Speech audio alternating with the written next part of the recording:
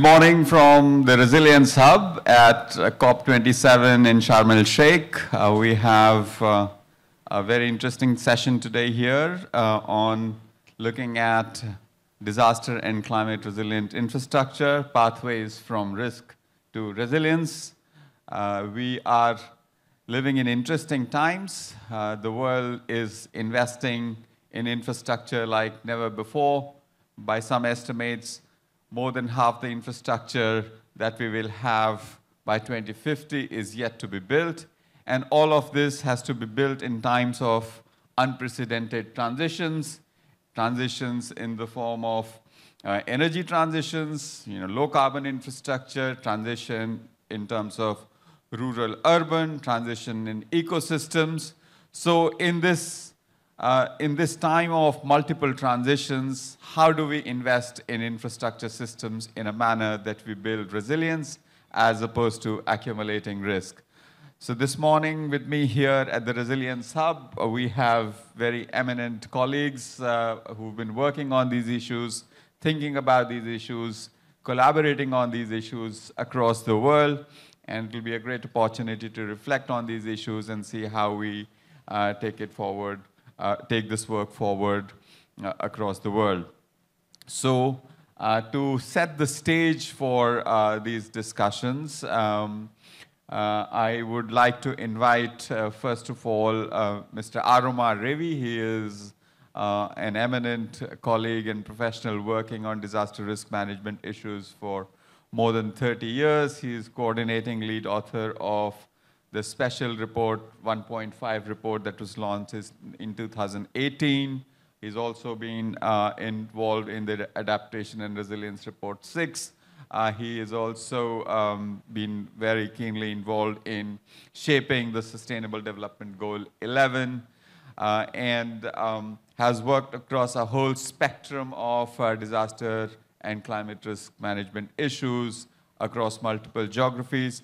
So I'll ask him to set the stage, and then on behalf of the organizers of this session, we will hear a little bit about uh, some work on risk analytics that uh, the Coalition for Disaster Resilient Infrastructure is doing. Uh, but for now, the, the floor is yours, Aromar. Thank you, Kamal.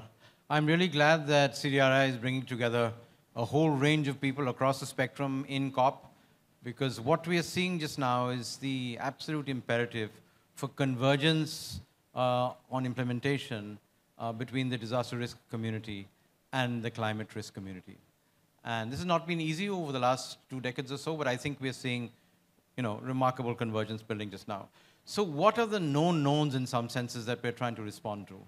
The first, of course, is that we've got a planet full of people. So we have 8 billion people going to 10 and we're in a planet in which risk is accumulating dramatically. And you know, I don't have to speak of COVID to be able to give people a sense of the fact that we move from individual events or sometimes concatenated events to systemic risk. COVID is that fantastic example, starting in one particular place, spreading across the world in a few weeks and months, and then essentially shutting down the global economy in many parts of the world, causing a whole range of deaths. That's more on the soft side. But why is infrastructure important? Infrastructure is important because, especially in post-COVID recovery, this is what many regions and many governments are actually counting on to actually deliver, not, on, not only on the economic development trajectory, but also on delivering the sustainable development goals. Uh, we know that you know, we haven't been doing too well on the SDGs, and COVID has really set us back. So in some ways, the delivery of infrastructure and the services that come from it are really important to try to accelerate not only the transition towards net zero, but also accelerate the recovery of um, the economies and livelihoods that we, are seeing across the world. So that's, I think, the second thing that we really need to focus on. Um, and like Amal said just now, in many parts of the world, a trend which is very, very critical is we're currently at about half uh, the world population living in cities. In another 20 years or so, we'll be about two-thirds urban and one-third rural. Uh, the balance between the two is very important. But the connector between cities and rural areas, the connectors between cities and regions, the connectors between, within cities itself are infrastructures. But we have to take a wider view of infrastructure.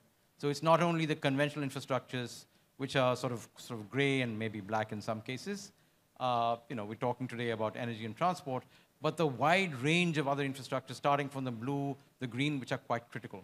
And the reason that that's important is we're in a world today, like I said, with 8 billion people, which is full, and we're having the coupling of human systems, natural systems, the oceans, and the atmosphere actually providing dramatic feedbacks. And as you know from our work in the IPCC, uh, we've tried very hard to suggest that there are paths to uh, actually achieving a 1.5 sort of future world. And you know, as it is, 1.5 is going to be problematic enough. We're at 1.1 and we can see the impacts in all systems across the world. Even 0.1 degrees is quite, actually quite serious. And you've seen that even you know, recently in, in, in, the impacts that we've seen in Pakistan. We've seen that over the last many years in many other parts of the world.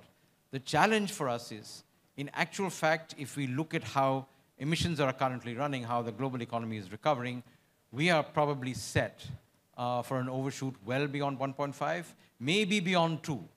So the context of building resilient infrastructure is not only economic recovery, providing and enabling the SDGs all the way from you know, one which is about poverty, two that's about food, uh, you know, three and four about health and education, et cetera, and, and, and the other sort of harder infrastructures, but critically doing that in uh, a climate resilient development frame.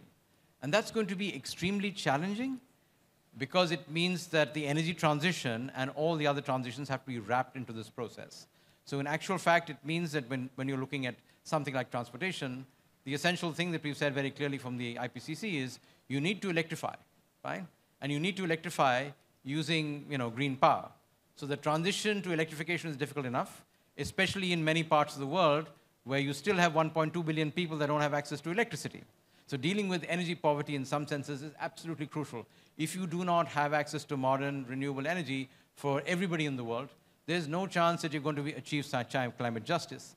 And you, are, it, you know, that's going to be a significant burden, not only on the public sector, but also on the private sector that's trying to kind of implement these kind of processes. So if you want climate justice, you have to first deal with the questions of energy poverty, universal access, and then you have to make sure that you have large enough pools of renewable energy with storage that can actually be deployed across grids to make this transition.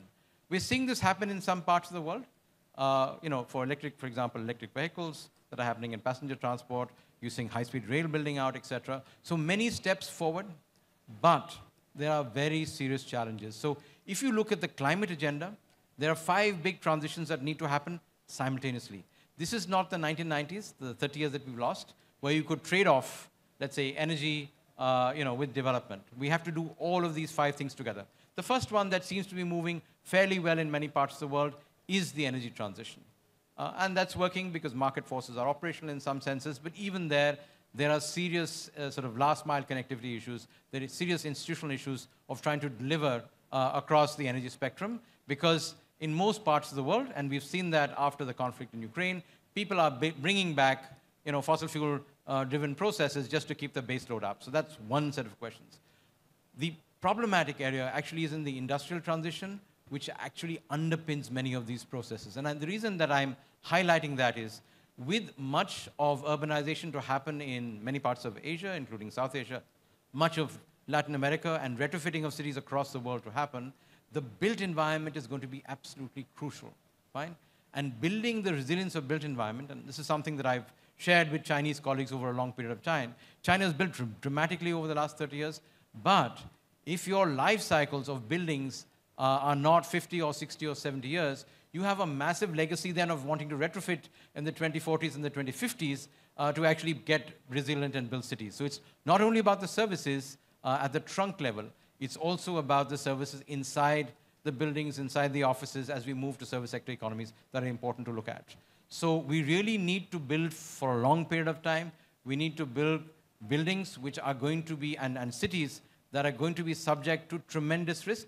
This is, these tectonic ones are pretty obvious. But the other kind of known fact, of course, is as we urbanize, we're urbanizing in places where risk is concentrated. We're urbanizing along coasts, we're urbanizing along uh, river valleys, we're urbanizing in areas where historically risk is concentrated. So you have an opportunity of economic development, you have an opportunity of plurality, you have an opportunity of, of, of innovation, but you're also concentrating risk, and many of these places also concentrate poverty and vulnerability at the same time. So for many parts of the world, and this is where I think CDRI is quite important, one of the critical questions is how do you actually not only you know, reduce exposure of, of infrastructure and infrastructure systems, especially the social infrastructure, but how do you actually reduce the vulnerability of those systems? So we have to raise the floor in terms of infrastructure standards. We have to raise the floor in terms of universal access. And that, for many people in the world, uh, because they live in vulnerable circumstances, they live in informal settlements, is going to be the way forward for us to actually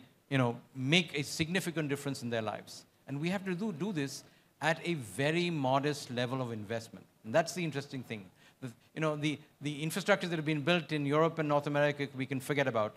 I would say even what China has done is something that is at a relatively high cost. For much of sub-Saharan Africa, much of South Asia, we had to deliver this resilient infrastructure maybe at a fifth or a fourth or at least a third of the current delivery cost. And that's where institutional innovation and that's where finance is going to be absolutely critical. So the flagship report that CDRI is putting, putting out, I think, is very important in this because I think we are laying the foundations globally and in each of our regions of an analytical frame that, in a sense, is going to enable us to move the investments in the infrastructure sector from the hundreds of millions, hundreds of billions, into the trillion scale. Fine? We talk about the massive infrastructure gap. It is significant. This is a macroeconomic challenge. But the infrastructure gap is not only a gap across the world, it is significantly a gap in the LDCs, even in the middle income countries that are growing. And there, the fundamental issue is risk and the cost of capital. So if your cost of capital is twice of what you'd get at LIBOR, there is no chance that the investment is going to flow uphill. And I think uh, what we're trying to do in trying to you know, build out the global risk index, uh, actually build parametric and probabilistic models which take risk down to the locations that it's concentrated in, uh, we will, I hope, as a whole range of actors in the financial sector actually come into the game, make a significant difference to the risk premium which the poorest uh, and now increasingly debt uh, sort of laden countries are going to deal with. Because if you do not address the questions of debt, if you do not uh, address the questions of cost of capital and risk, uh, in effect, uh, this is going to be a hollow promise in some senses. So you cannot achieve climate resilient development. You cannot achieve uh, and implement the uh, urban and infrastructure transition unless you're able to organize and understand where risk is concentrated. And this is to be done in a systemic manner because in many parts of the world, governments do not have the resources to actually deliver on this promise. Which means if they have to crowd in private sector resources, if we have to have adequate insurance cover, we have to have an understanding of how risk is organized unbundled, and we have to have institutional responses in the financial system, in the governance system, to make it possible. And this is across the spectrum. Blue and green infrastructures, because cities cannot survive without water, uh, without food, without all the core things that they don't actually have. You have to obviously do that as far as the hard infrastructures are concerned, energy, telecom, transport, etc., the things that we're talking about today. But we should not forget education and health, because it's education and health that fundamentally reduces the vulnerability, which allows the capacity to build, be built within civil society, communities, uh, and, and in local governments to actually respond to these questions. So in some senses, there's a significant expectation from this report because it will touch on the science and the analytics. It will touch uh, on the way that industry and the financial institutions actually look at this uh, in this big survey that you know, we're actually trying to put together.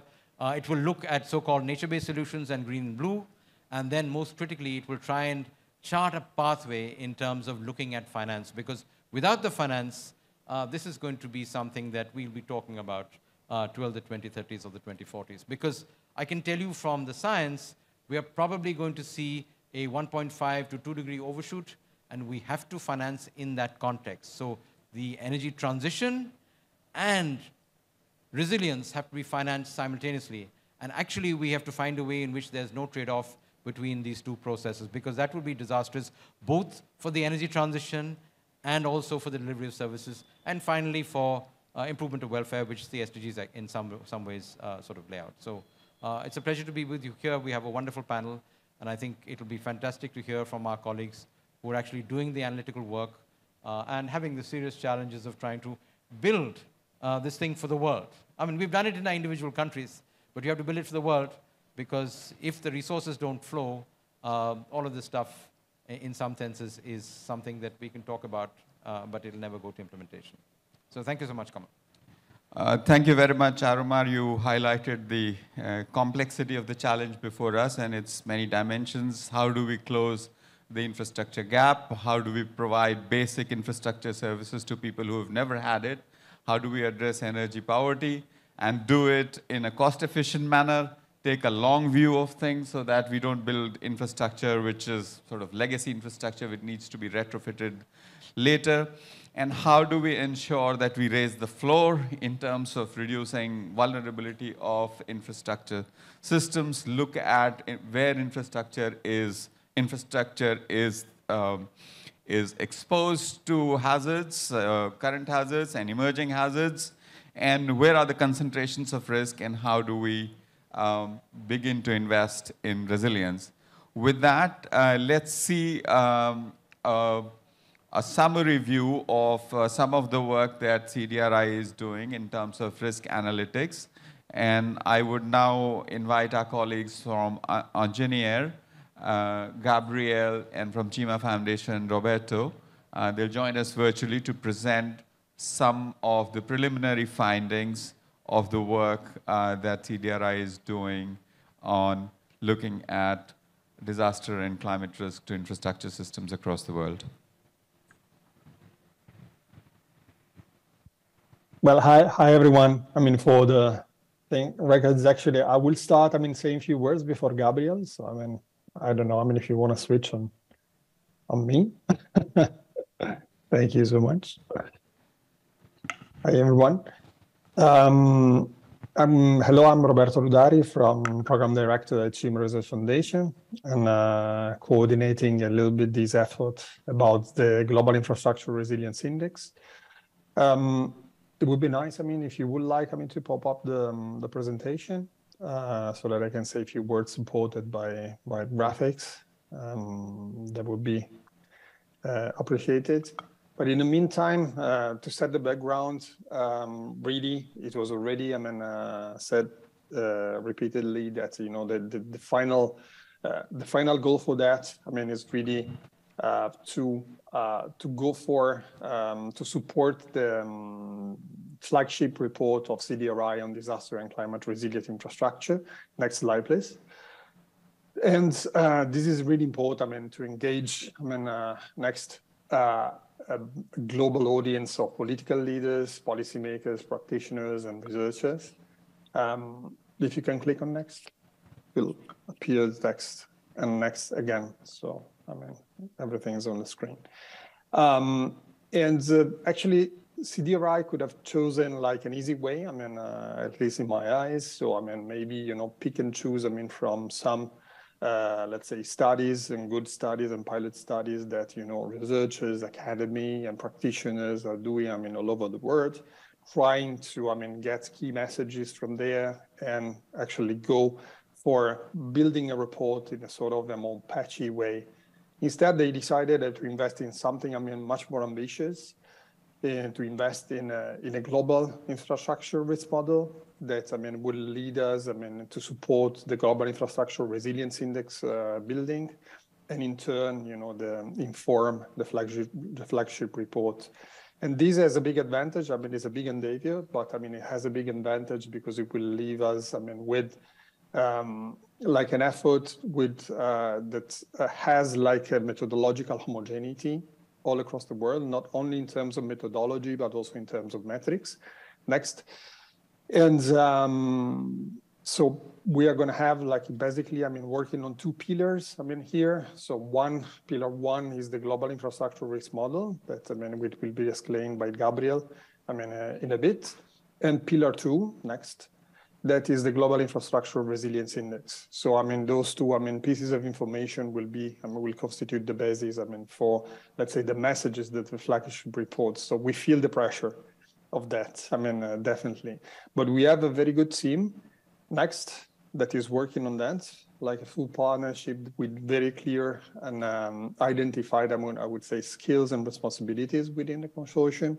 So there's CIMA Research Foundation, that is a consortium lead, it has the responsibility, I mean, very relevant for the, the, the, COP now, I mean, for addressing the climate change issue and some of the most important hydromet, I mean, hazards like floods and droughts. We have INGENIAR risk intelligence represented by Gabriel a bit, that is the technical lead and uh, is sharing, you know, the majority of, I would say, the, the responsibilities in terms of not only building the hazard models for tropical cyclone, earthquake, tsunami, and the exposure model, but also for mixing these up into the risk computation and then supporting the GIRI index um, design. We have um, the Norwegian Geological Institute, I mean, uh, that is responsible for the landslides model. And in the end, I mean, the University of Geneva, that I mean uh, performs the exposure computation, and also it will be responsible for the dissemination platform that uh, basically will host I mean all the results and metrics I mean uh, for this uh, of this project. Next.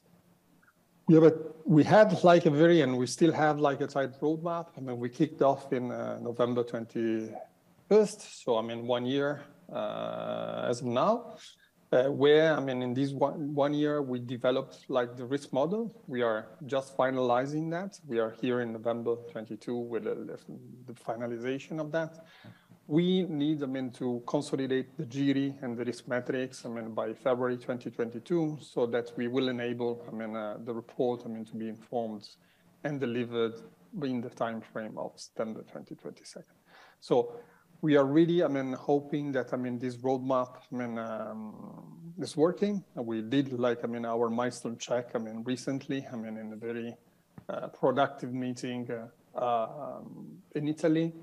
And I mean, we think, I mean, uh, we are really um, complying, I mean, with this roadmap. So in, in the next few months, I mean, we, we're going to have like uh, uh, the complete uh, risk model, I mean, ready and also the GIRI, I mean, so the index, I mean, uh, available to be uh, to be shared. But I don't want to lose any more time. And uh, I mean, we have Gabriel that will lead us, I mean, into already, I mean, biting, I mean, to some pieces of the of the risk model and first results, and also, you know, the idea of, that is that stands behind, you know, the GIRI the GIRI index. Gabriel, floor is yours. Thank you, Roberto. Good morning to everyone. Uh, next, please. I'm very glad to be here with you today to show you a summary of the modeling framework and some preliminary results of, of the GIRI. Um, it is very hard to summarize this huge effort in such a short time, but I'll, I'll do my best. Next, please. Uh, to give some context, um, GIRI is both a metric and a modeling framework to account for disaster risk of the infrastructure systems that support socioeconomic activities. Uh, the, both the modeling, um, the, the, model and the, and the index will account for disaster risk in a fully probabilistic way, uh, delivering probabilistic metrics that incorporate climate change in a way that is very uh, interesting and novel which is through imprecise probability estimates. Also, GIRI incorporates socioeconomic context variables so that we can aggravate disaster risk from this context to capture the complex nature of disaster risk, of course, and then to provide a country's resilience performance indicator or metric. Next, please. Next.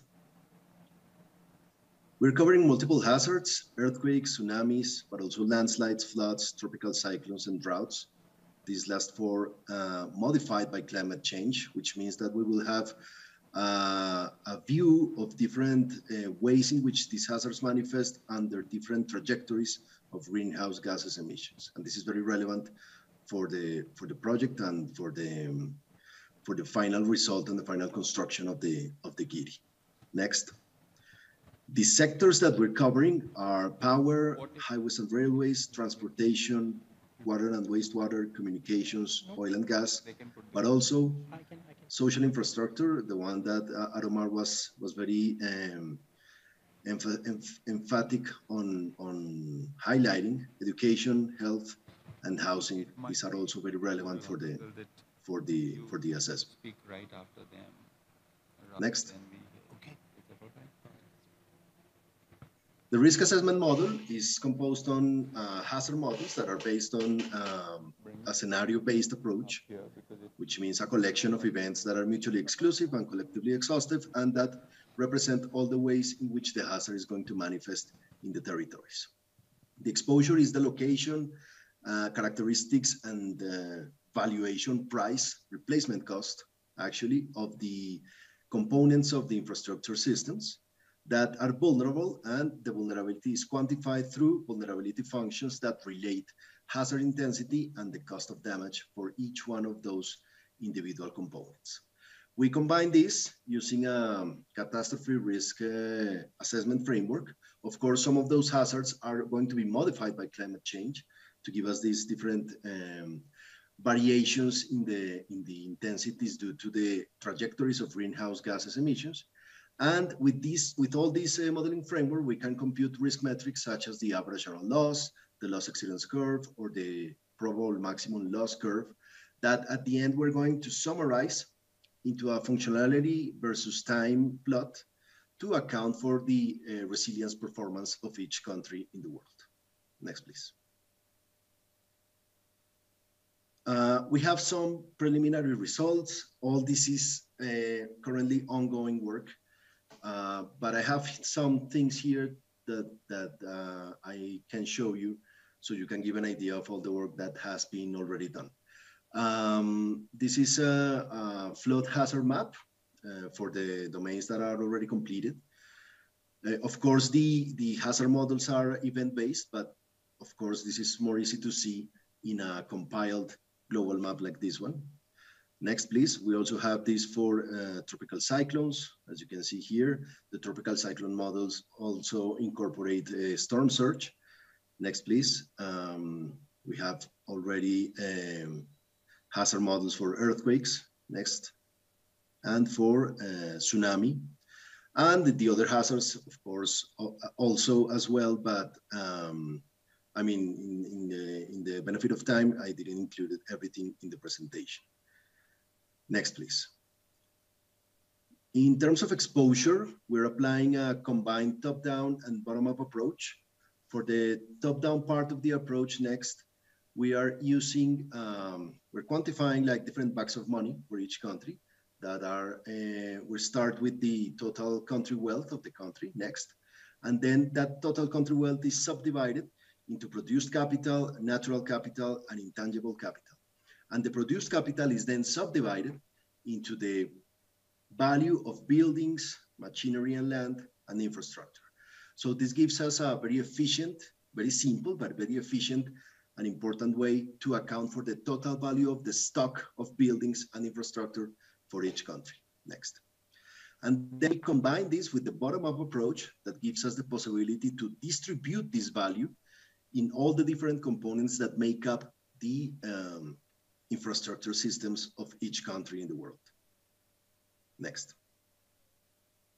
This is just a, a, little example. As I mentioned, all this work is currently ongoing, but just to give you an idea, this is the aggregated exposed value of uh, the housing sector for all countries in the, in the world so far generated.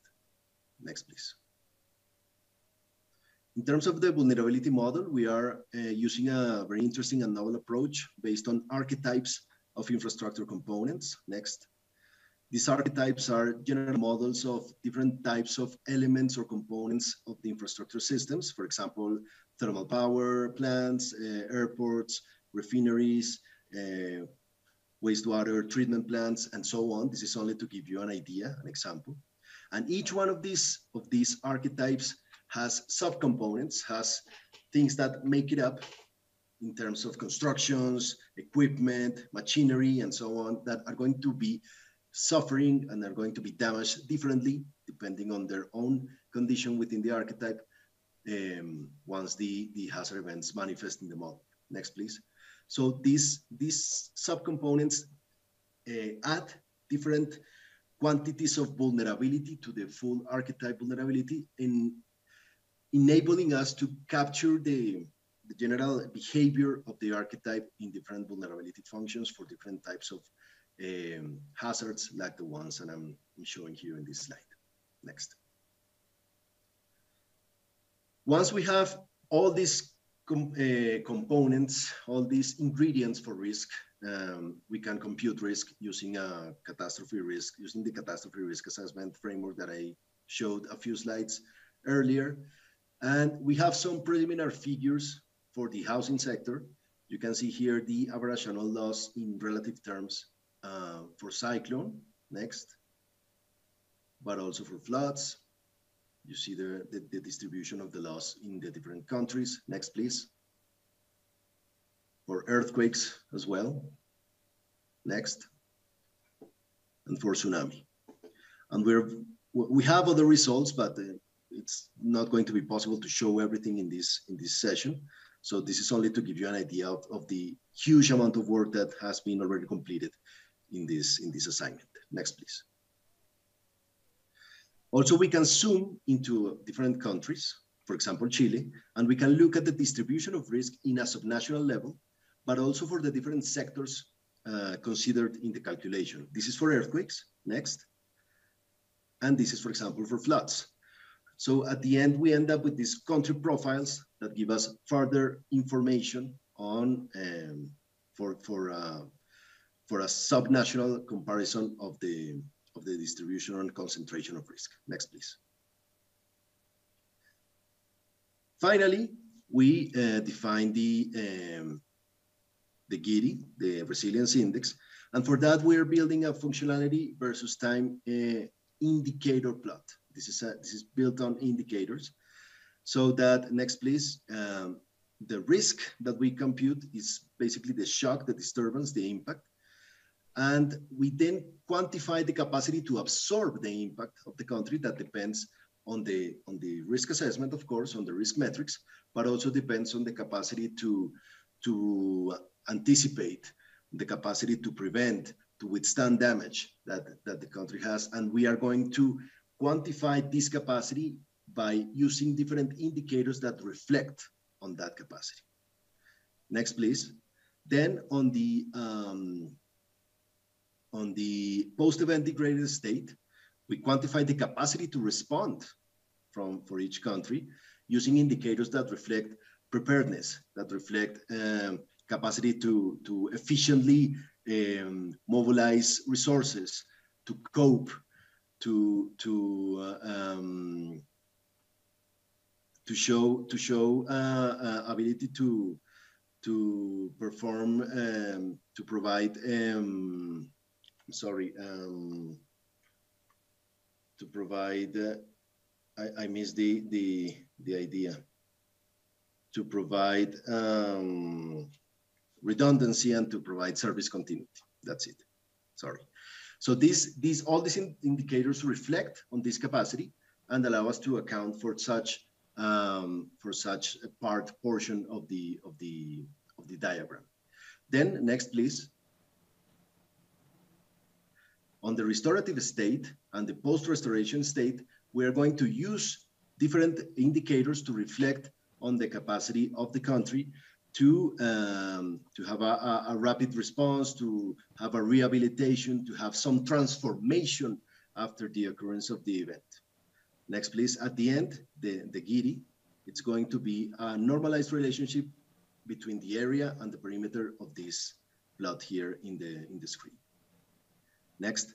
So this means that um, at the end of the day, we're going to compute an index for all the territories in the world. Next and then to um, also provide the, the plot, the functionality versus time uh, indicator plot that gives or that builds on the value of the of the GIRI that we are going to be generating.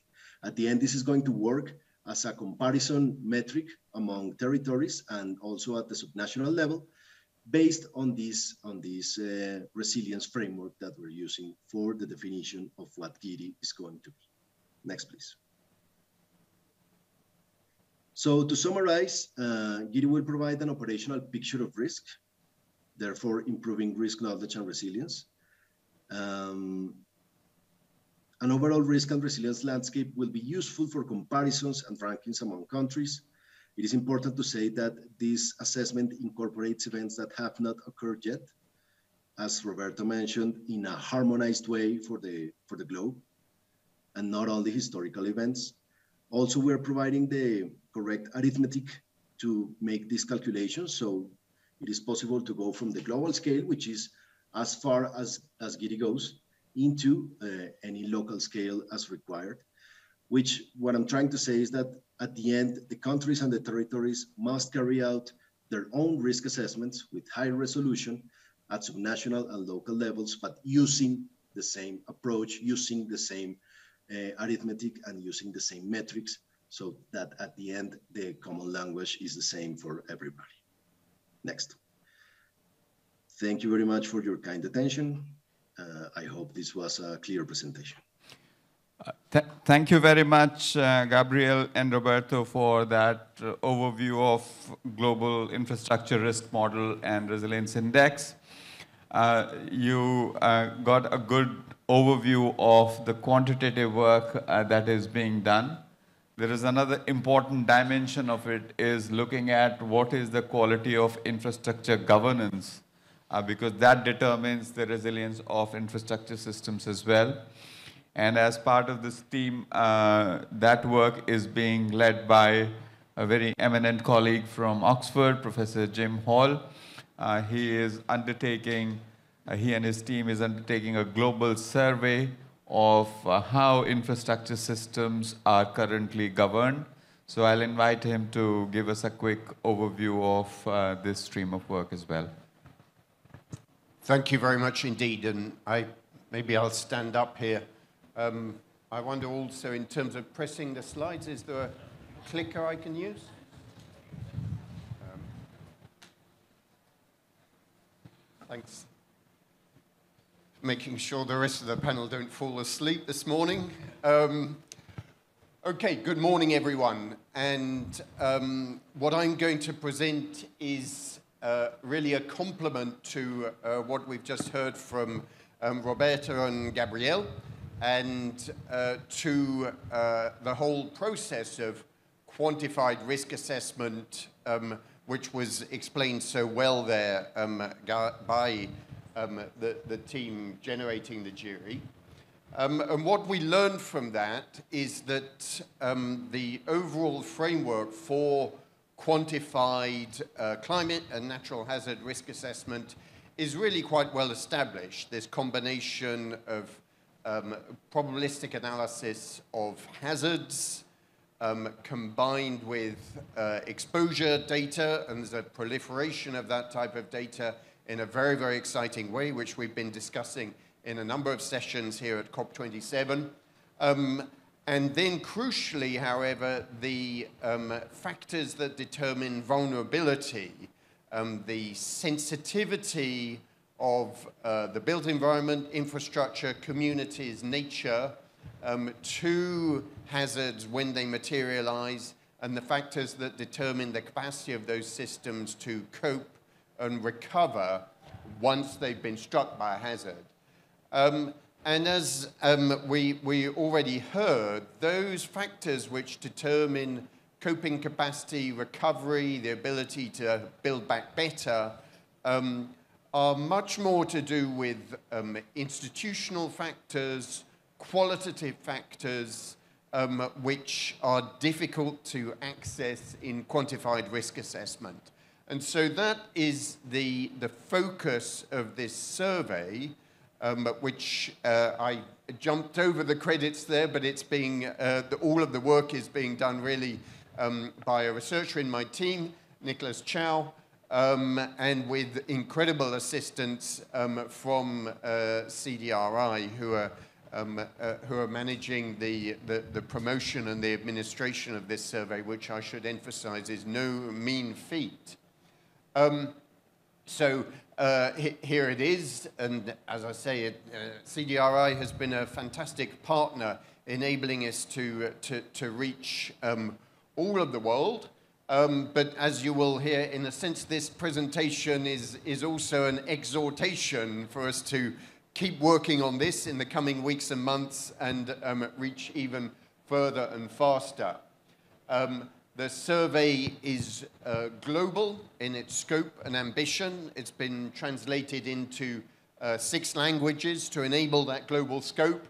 Um, and it is focused in the first instance on technical people, um, people working within the infrastructure sectors who have insights into these questions around design standards, uh, governance, enforcement, maintenance, um, and so on. And um, that is seeking to enable us to, to develop a global picture of how those crucial factors come together. Um, I should add that it's being followed um, by a non-expert survey aimed, by, aimed, at members of the general public um, to um, express their lived experiences of infrastructure and infrastructure failure and recovery, but that's still to come. Um, these are the, uh, the, the, infrastructure sectors um, that we're, we're looking at, and that's aligned with what's being covered in the uh, um, though the focus here on economic infrastructure um, more so than the, than the built environment and the social infrastructure. And the way the, the, the survey is, is done in a uh, survey platform and the way in which it navigates the, uh, the user through the survey is first to, um, to get some background information in terms of their um, expertise um, and where they, where they come from, what their perspective is. Um, then the next set of questions is around um, their experience and um, perceptions of uh, uh, hazards, so the hazards to which the infrastructure for which they're responsible is exposed, what experience do they have of hazard frequency, hazard impacts, um, and then going into these questions um, around all of those factors of infrastructure management which um, determine um, the, uh, the resilience, the response, the recovery. Um, and these are the pieces of information which are, are much more difficult to obtain from global data sets, and that's what this survey is really here to enable us to get. So far, um, thanks to the, um, the, the, big push by CDRI, um, we've managed to get almost 600 responses. Um, so that's um, pretty good, and there's a, a, a pretty good spread across sectors, though uh, possibly less in the energy sector than we would expect given the size of the sector. Um, and, uh, but then when you begin to slice that down in terms of geographical spread, we have a, a good geographical spread, um, but not nearly enough so far in terms of um, uh, the, the spread we would need in order to come up with um, robust survey uh, results. So um, again, a real um, big push in the coming um, weeks to try and get this survey out further and to, uh, to learn more about infrastructure. So just a, a, a quick look at the preliminary results and um, these are, as I say, pre preliminary, based on a, um, a, large sample, but probably not large enough. Um, but what we're seeing, and the ones at the top here are the, uh, the aspects which our respondents have, have emphasized um, so far as being particularly important, um, is the importance of the, of the overall policy framework. These are complex systems, but to have an overall sense of direction within that complex environment um, is extremely important. Um, disaster preparedness and response planning is absolutely crucial to that process of, of response and recovery. Um, so the resistance of infrastructure is important, um, but, and we've seen this also in quantified risk assessment, the amount of time it takes to um, repair and recover is absolutely fundamental to this scale, overall scale of economic and societal impacts. Um, dedicated infrastructure resilience financing Interesting to see this coming up um, high at the moment because it's, um, I would say that it's still a, a fairly um, niche aspect of financing. It's being pushed um, very hard by financial institutions, including the World Bank. Um, and so they'll be pleased to see um, that, that, dedicated infrastructure finance is, is up there as a priority. And perhaps less surprising, um, maintenance um, standards and practices are absolutely fundamental in terms of uh, the, uh, the, the ongoing resilience of existing infrastructure asset base. And um, you can, can see the, the, the rest of the topics that are coming up here. Um, some uh, statistical data, um, which sectors don't um, yet engage in routine preventive maintenance. Um, in a sense, um, I would say that uh, the, uh, the, the answers here are, are, not very surprising. It's, um, uh, we know that preventative maintenance is, um, uh, is by far the most efficient way of ensuring infrastructure resilience, and yet um, the majority of sectors are not engaging in preventative maintenance. This is um, reactive maintenance is going on here, fixing problems when they occur rather than using monitoring and technology um, to anticipate those problems. Um, the uh, interesting to see um, uh, drinking water up there um, as, as being a, a particular area of, uh, of, of weakness. Um, nonetheless, sectors collecting and using data to inform decision making. Um, we would expect to see this, um, and I think in some senses we're in, encouraged by this. Um, the, the, the, rail sector, as in most countries, a highly regulated sector, um, I think is, is again not surprising to see that up there as the, uh, the underlining the use of data in informing decision making.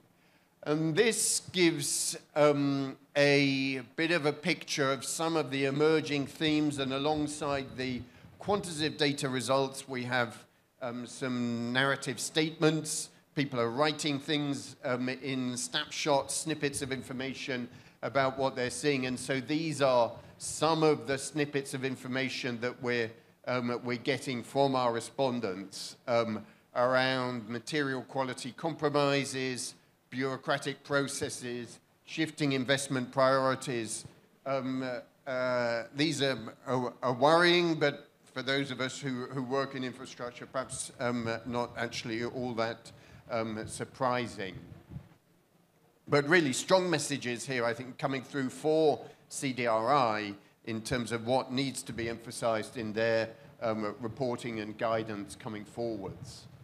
So that's a, a, a, very quick overview of where we've got to with this survey. Um, clearly, um, the, the, this is work in progress. We haven't got enough responses yet. Um, and so please, if you haven't already done so, um, uh, within, we have, a, of course, here at COP, a number of senior people from influential organizations, and we really encourage you to dig deep into your organizations to encourage the the, the people who are at the coalface, who are hands-on with infrastructure to, to go into this survey and to, to fill it out. In particular, where you have um, reach around the world, in particular the most vulnerable countries around the world. Um, please encourage that. Um, and uh, as I say, what this will give us is some both overall insights into the factors that determine infrastructure resilience, which CDRI will be able to emphasize and come up with solutions to in the future. Um, some sense of cross-country comparison. We need to approach this with caution, um, but it will help to build up the picture because this is what we, we need if we're going to use the quantified risk analysis, which so many people are progressing so fast at the moment. It needs to be colored by this qualitative insights into the, uh, the status of infrastructure resilience. And as I say, the step beyond this, um, and a step which I'm, I'm very, very interested in as well, is to see what, to what extent can we crowdsource from the general public their lived experiences of infrastructure and help that to inform our understanding of infrastructure resilience as well. So, thank you. Uh, thank you very much, uh, Professor Jim Hall. That was a re really nice uh, complement to uh, the work that was presented earlier. In, in a sense, it's the in a story that lies underneath what, what the uh, quantified assessment of risk and resilience is, is finding. Some of the findings are counterintuitive, others are confirmation. So again, I would, uh, through this platform, I'll make a request for more experts to, to take the survey. I think 600 is already quite impressive, but perhaps not enough. So we are uh, running hugely behind schedule, but I want to hear from colleagues from the financial sector about financial risk metrics, and then uh, we go over to colleagues online as well. Jan Kellett, the floor is yours. Jan is from UNDP, longtime friend and colleague working on uh, financial risk management for disaster resilience. Thank you, Kamal, and uh, pleasure to be here today. Um, what I'm going to do is look at this from a development perspective. Uh, so for those who don't know, I lead UNDP's work on insurance and risk finance around the world. I'm partly looking at it from a development perspective because I realize that uh, as our work grows in this space, uh, I'm, I'm increasingly ignorant of so many things. Uh, so uh, what I want to do is focus on really what we do. And what I think I'd first say right at the start is I, I can immediately see so many applications for this well beyond even infrastructure. So that's actually what I'm going to talk about is how we could imagine uh, beyond that. So I think the first thing just noting here is microphone a little bit in and out. No. Um, you know, what is the task before us and can this work actually help? So less than 1% of all institutional assets go into infrastructure. So, well, that's a bit of a problem there uh, when it comes to what you were saying, uh, Kamal.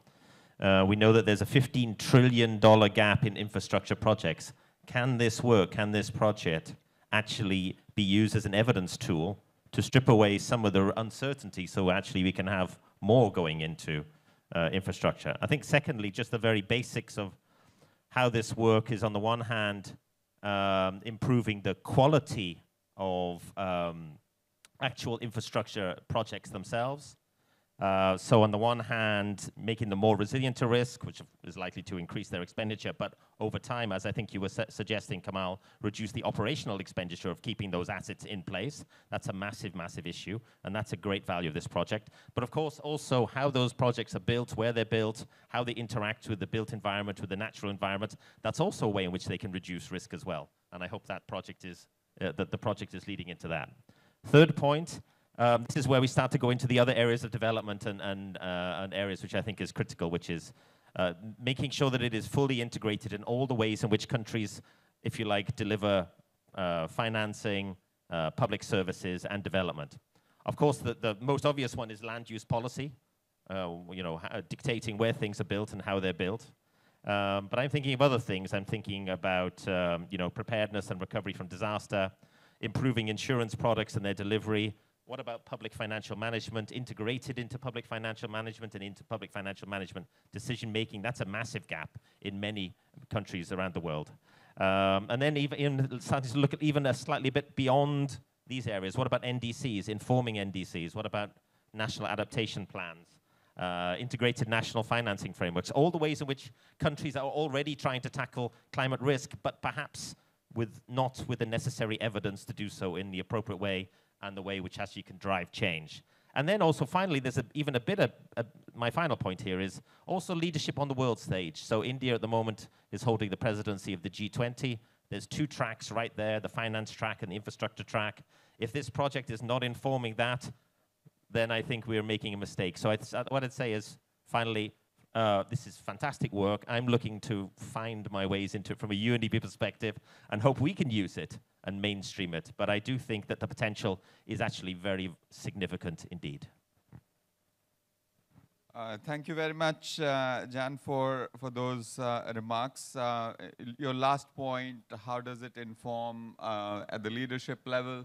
So the, the launch of the report, the launch of all of this work is timed with G20 events next year in India. So hopefully there will be that you know cross transfer of things. And thank you for highlighting the various applications. With with that, let me turn over to Ivo from uh, Swiss Re.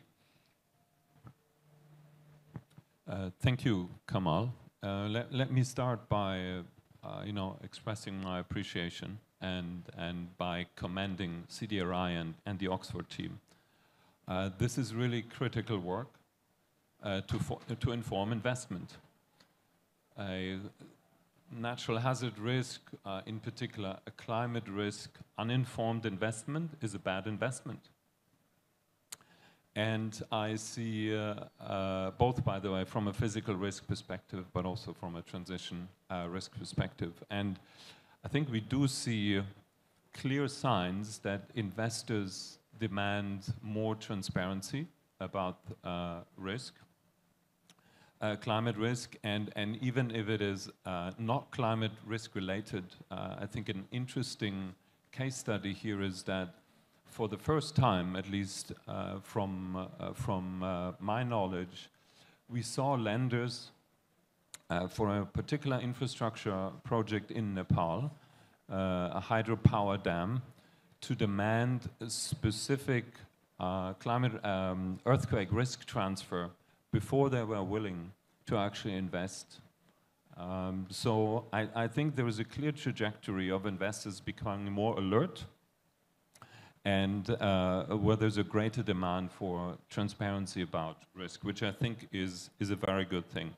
I clearly also see the application in the context of prioritizing limited government resources in investing into adaptation infrastructure. Where do they get the best bang for, for, for the buck to reduce risk on a um, regional level, on a, on a country level? Uh, and I also see the application in terms of um, making the business case uh, for adaptation infrastructure, including nature-based solution, uh, to quantify the avoided losses um, that uh, you know the, the implementation of an adaptation infrastructure could bring about. Now, how, how do I see an application in the, uh, in the insurance uh, sector and insurance context? So the, uh, um, th there is a clear correlation, obviously, of reduced uncertainty will lead to uh, greater risk appetite and reduced uh, um, uh, charges for, for uncertainty. So to, to come to your point uh, earlier of reduced capital costs actually for the, for the investment. If I look at how we underwrite risk for infrastructure projects, it is, though, very much on an individual project uh, basis. So I think the further trajectory of developing uh, the models to be applicable of individual risk will be important. Um, uh, but where, also, where I see currently in, in, an application is um, network infrastructure such as rails, uh, roads. That's something we are struggling with. Uh, because we have little information about the vulnerability of these. So any additional data that comes to that will be, will be fantastic. My last point, um, it is, it is really particularly encouraging from my perspective to see the Oxford work to also include other dimensions of risks, not only the physical risks. Um, the, uh, if, if, if, you look into the main obstacles uh, that prevent more investment flowing into infrastructure, it is in many cases factors such as, for instance, political risk.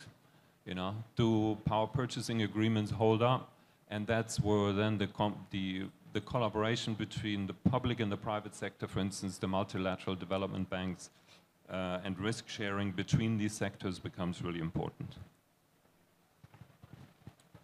Uh, thank you very much, Ivo, and it's encouraging to hear you. Uh, the quote of the day is, if it is uninformed investment, it's bad investment. And hopefully this work will help us respond to the demand for transparency, help us prioritize, make a business case. Uh, we are really running out of time, but I want to give one minute, uh, a couple of minutes to our colleague who has joined us online, Ms. Savina Carluccio from the International Coalition for Sustainable Infrastructure. She's joining us online.